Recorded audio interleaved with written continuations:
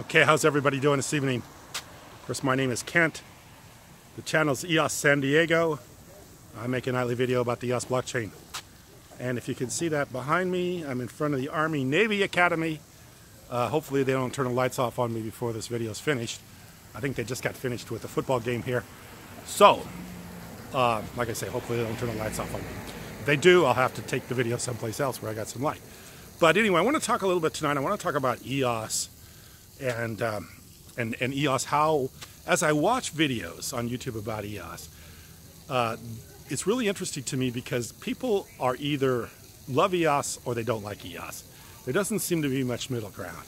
Either it's uh, they're they're highly uh, supportive of EOS or they don't like EOS. There doesn't seem to be much in between.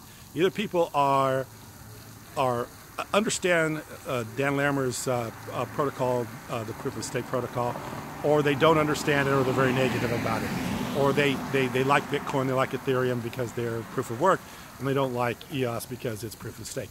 But anyway, it's interesting to me that it's, it's, it's, it's, uh, it's so divided, and that either people like EOS or they dislike EOS.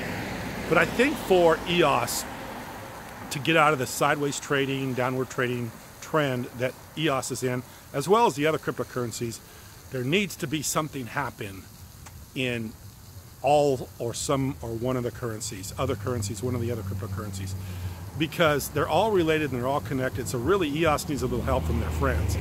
They need help from somebody else, something big, something major, something like Bitcoin being traded on the funds, where uh, Bitcoin is allowed by the Security Exchange Commission to have uh, one of the funds traded be traded with one of the funds or some bundled up fund where all the cryptocurrencies are being able to trade on a fund on a, on, on, a, on, a, major uh, exchange. And if that happens, it's going to make everything better for every cryptocurrency, including EOS. And for EOS to be the leader, which I think they are already with transactional speeds and with the uh, with the amount of uh, transactions per minute, per second, all the other things that's going on with EOS, the fact that EOS is uh, recording more information on the blockchain than any other cryptocurrency right now is is all this is is kind of overshadowed by the fact that all the other cryptocurrencies are trading sideways and downward too, just like EOS is doing. But EOS is kind of a victim of all the other sideways market activity going on. So for EOS really to come out of this uh, this trading cycle that we're in, not that it's been there very long, but people get impatient.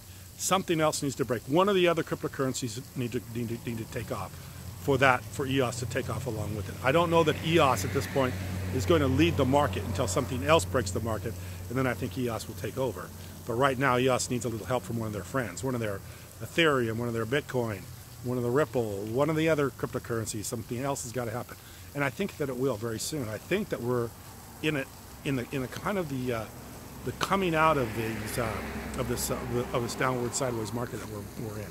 But they do, you, you know uh, all cryptocurrencies are looked at as one uh, one trading um, platform. They're all looked at as one one. You know, they're all related to one another. Just like in uh, in in the regular stocks in, in Nasdaq or or Dow Jones Industrial Stocks, you could look at a different sector. You could look at the uh, uh, you could look at technology sector.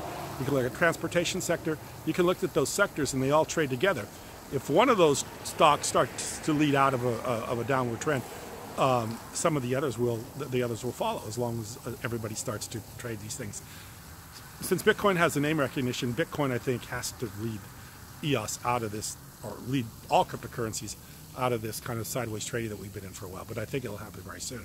But like I say, this uh, and I'll name the video this that EOS really needs a little help from their friends. They need to be everything needs to be positive in a cryptocurrency market for EOS to take off as well as the other cryptocurrencies. That's what we're looking for right now. We're looking for some spark to ignite the whole market, some spark to take everything up to the next level. We need some spark, and it doesn't matter which cryptocurrency makes that spark.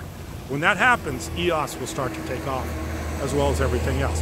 For EOS to lead the pack right now, something needs to happen. Something needs to take off. Something needs to, to, to be, and that's why I've been talking so much about Bitcoin and and, the, and, and trading on the funds, trading with the with the ETFs. Um, that's what needs to happen. Something like that, needs to happen. It needs to be brought into the mainstream.